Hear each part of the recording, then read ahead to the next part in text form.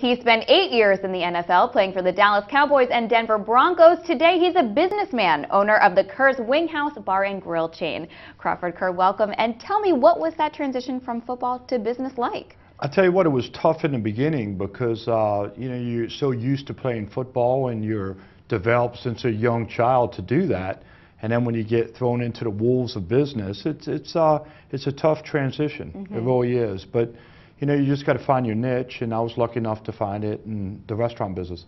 The restaurant business now is not an easy one, especially for those who haven't done it before. So what made you choose that industry? Well, my dad was in the business growing up, and I was always around it, from cooking in back of the houses of different restaurants, different Italian restaurants. So it didn't really give me my pedigree to do it, but I ran into a partner and uh, opened up my first restaurant in 94, and soon after bought the partner out and really kind of had to learn the business from the ground up. And being the president, you better know it. And uh, I just spent a lot of time working at it and developing it. 94, so that means you guys are celebrating 20 years now. 20 years. What skills would you say that you took from the football field into this restaurant business? I think I think in, in, in, in business is a lot like athletics. It's structure. It's everybody has their position uh, their place, and you have to have the leadership. And I was lucky enough to have some great leaders, and, and Coach Tom Landry from the Dallas Cowboys, and also the harder type of Jimmy Johnson from University of Miami. So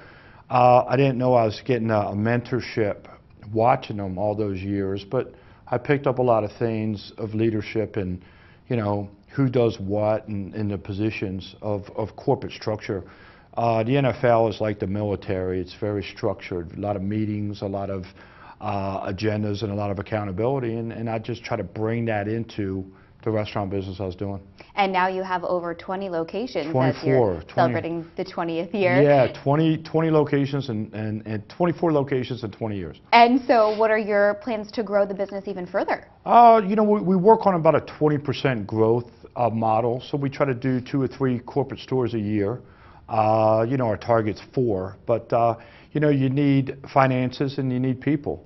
So the toughest part is people, developing people through your training systems mm -hmm. to be able to grow. You know, then we'll launch franchising a little later. I always thought about 23, 24 I'd franchise because a lot of companies franchise too early and they come and go.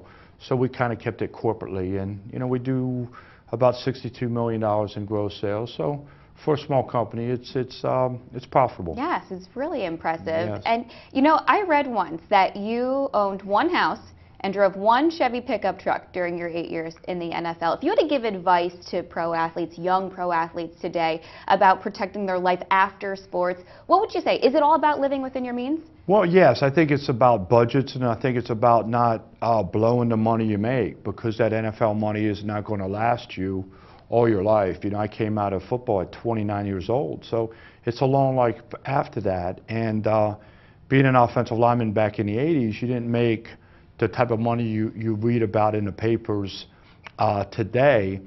So it's important whatever you make to save, even if it's in a bank at one or two percent. A lot of these guys want the quick buck and, and want to make riches overnight. And in broadcasting or restaurants or any kind of field, it takes a while. It took me 20 years to kind of get where you're at. So you, you got to uh, like the process and not mind working at it. All right. Thank you so much, Crawford Ker. I'm Brittany Umar for The Street.